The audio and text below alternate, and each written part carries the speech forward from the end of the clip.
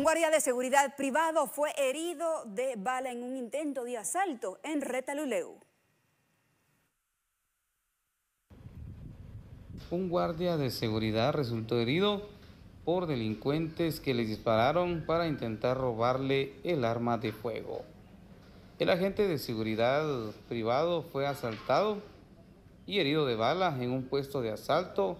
Esto ocurrió en la ruta que comunica hacia el Parque Arqueológico Tacalic Abaj, ubicado en el municipio de La Cintal Retaluleu. Se trata de Luis David López, de 24 años, quien labora como guardia de seguridad y había salido por sus alimentos, según lo que se supo. Los elementos de la Cruz Roja Guatemalteca acudieron al municipio de El Acintal para poder prestarle los primeros auxilios y posteriormente, tras estabilizarlo, lo remitieron hacia el Hospital X de la cabecera departamental.